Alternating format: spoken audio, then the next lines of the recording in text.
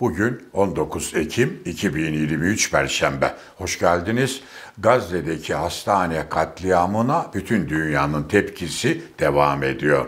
Ancak unutuluyor. İsrail bu tür alçaklıkları hep yapmıştı ki arşivde var. İslam'da işit canavarları nasıl bir belaysa Musevilikte de Musevilerde de Netanyahu öyledir. Akli selim hiçbir Yahudi Netanyahu'yu sevmez ve benimsemez. Lakin şunu söyleyeyim, bunların olacağı da Hamas'ın saldırısıyla belliydi. Maalesef Netanyahu'ya bu katliam imkanını veren Hamas olmuştur. Gerçi İsrail tarafı biz yapmadık, Hamas içindeki İslam'ı cihat yanlışlıkla vurdu diyor ancak bütün dünyanın kabulü onların yapması şeklinde. Şunu da ilave edeyim, hastaneyi bombalama saldırıda zirvedir. Bundan sonra her yapılan normal karşılanacaktır. Peki bu açık savaş suçuna rağmen uluslararası irade, uluslararası hukuk İsrail'e bir fatura çıkar, bedel ödetir mi derseniz hayır hayır söz konusu bile değil. ABD, Avrupa, hatta Japonya, Kore gibi ülkeler bile artık gözü kapalı İsrail destekçisidir.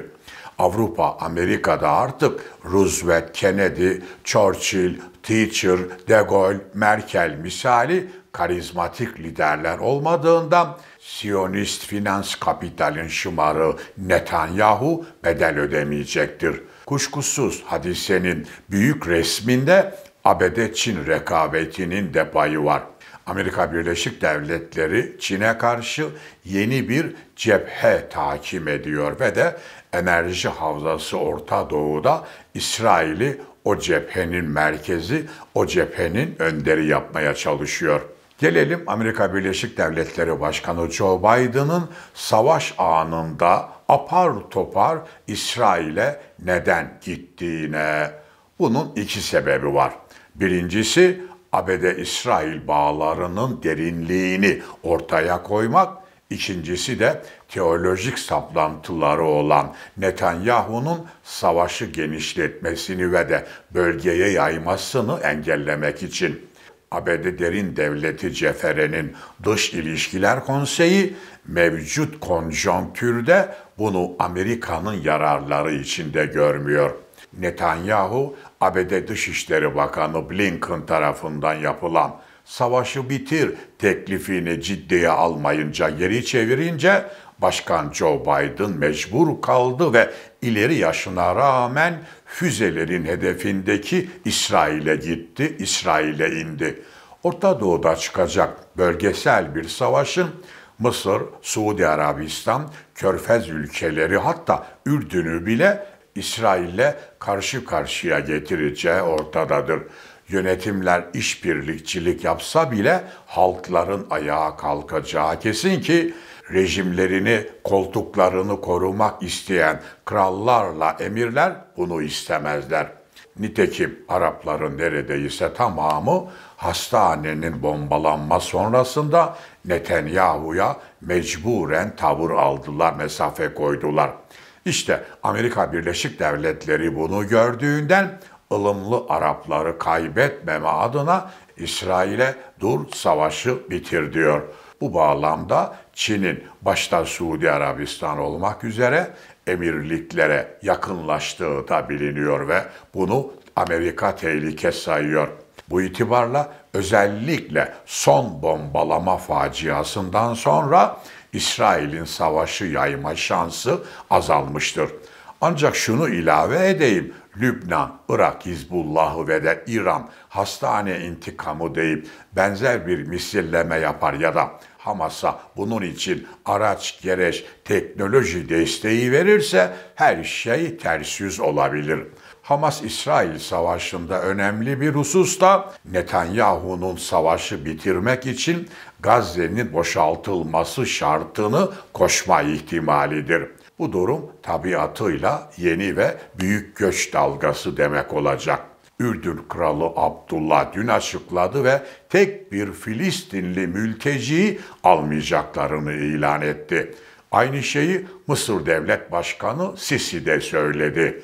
Gazze'li Filistinlilerin savaş halindeki Suriye'ye gitme ihtimali söz konusu olmadığına göre geriye kalıyor Irak'la Türkiye.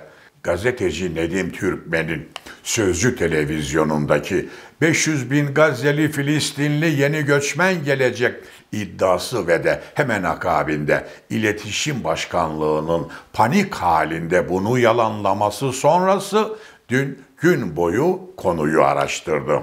Evet maalesef Ankara'da böyle bir çalışma yapılıyor. Devlet ve hükümet içinde savaştaki sivil Filistinlileri sahiplenmek namusumuzdur, tarihi görevimizdir diyenler var. Sarayın da Filistinlilerin ülkeye alınmasına sıcak baktığı ifade ediliyor. O kadar ki Hakan Fidan'ın sığınmacılar için Katar, Birleşik Arap Emirliği ve de Suudi Arabistanlı meslektaşlarıyla konuşup finansman desteği talep ettiği bile dillerdedir. Evet, Suriyeli sığınmacılar misali para alınıp yüz binlerce savaş muhaciri daha sokaklara dökülebilir. Böyle bir ihtimal ağırlık kazanmaya başladı. Bu şekilde bir taraftan onlar Osmanlı halkı, Osmanlı'nın emaneti, onlar ensar, onlar muhacir denilip siyasi istismarlar yapılacak.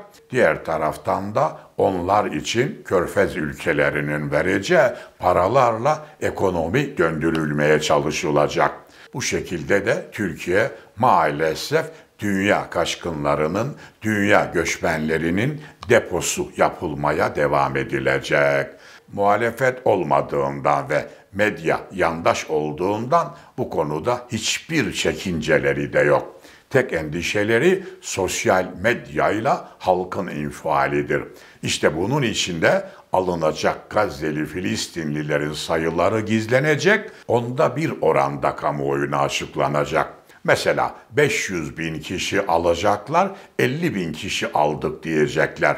Yine aynı konu bağlamında iki utanmazlık daha var. Onlara da dikkat çekmek istiyorum.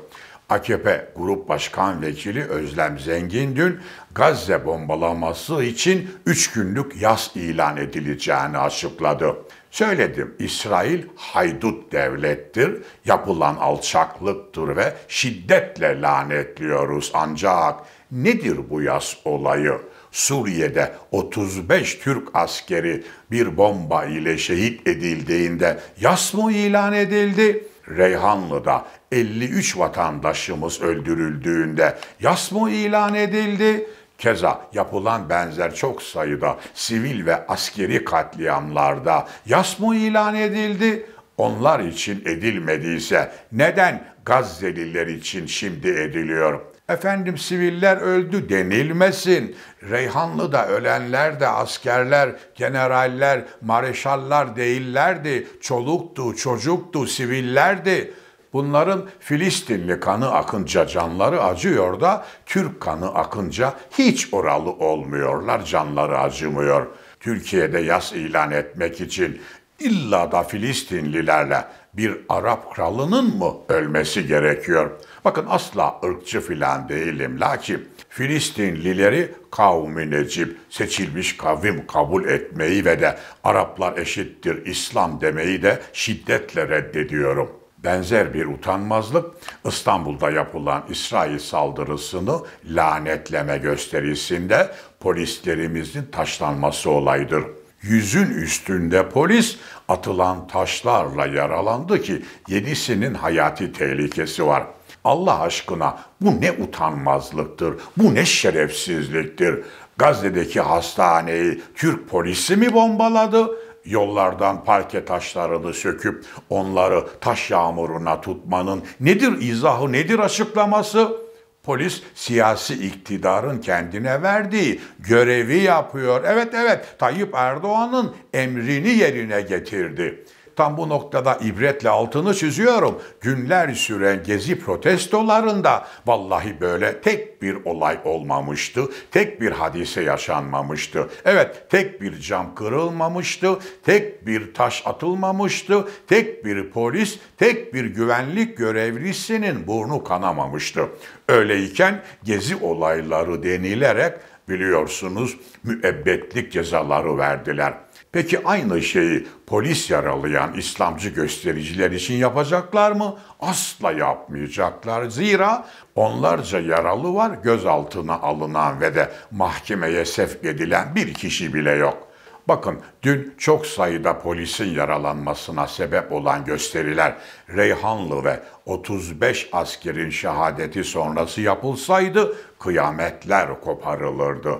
Ama İslamcılara, dincilere devlete kalkışmak demek olan polisi yaralama, polisi taşlama dahil her şey serbesttir. Değerli dostlar, iç politik gelişmelere gelirsek Cumhuriyet Halk Partisi'nde Muharrem İnce sürprizi konuşuluyor. Kulislerdeki iddialara göre kurduğu partiyle bir şey yapamayacağını gören Muharrem İnce, Cumhuriyet Halk Partisi'ne geri dönme arayışındaymış. Bunun için şöyle bir strateji belirlemiş. Destek verme karşılığıyla Kemal Kılıçdaroğlu'yla uzlaşıp Ekrem İmamoğlu'yla Özgür Özel gibi yenilikçilere kurultay öncesi savaş açacakmış.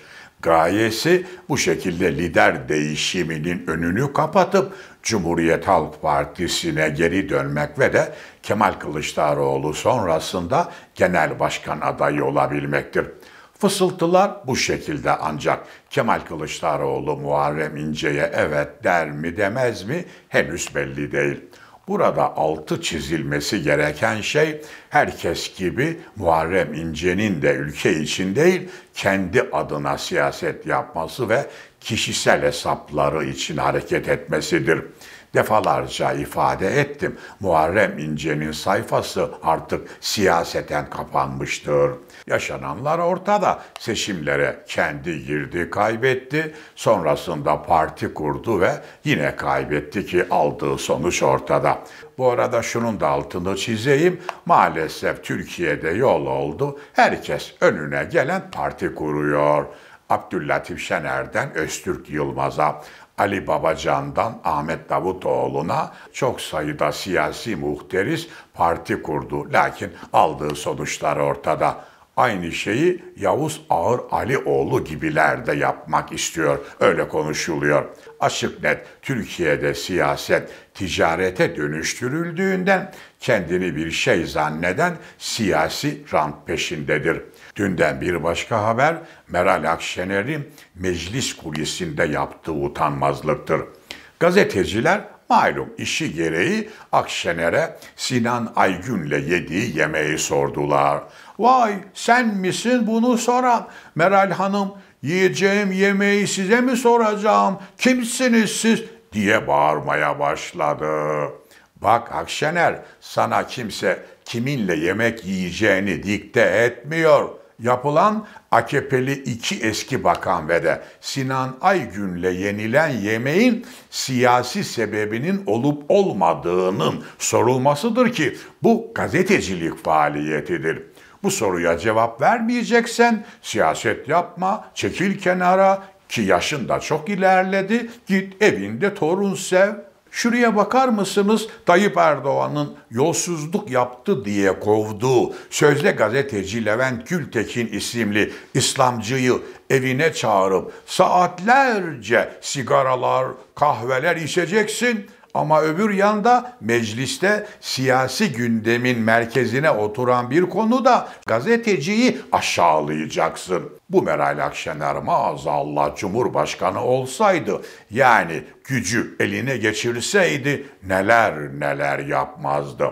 Zaten Meral Akşener böyle olduğu için yüzde kırkların üstünde olması gereken İyi Parti son anketlere göre yüzde beşin altındadır. Partide değil yeni katılımlar, her gün yeni yeni kopuşlar var ki dün de Amasya'da il başkanı Birol Çapkınoğlu'yla ilçe başkanları dahil 300 kişi istifa etti noktalarken aynı şeyi söyleyeceğim. Videomu dostlarınıza, arkadaşlarınıza gönderin ve lütfen beğeni butonuna basın. Bunun size maddi manevi hiçbir külfeti yok.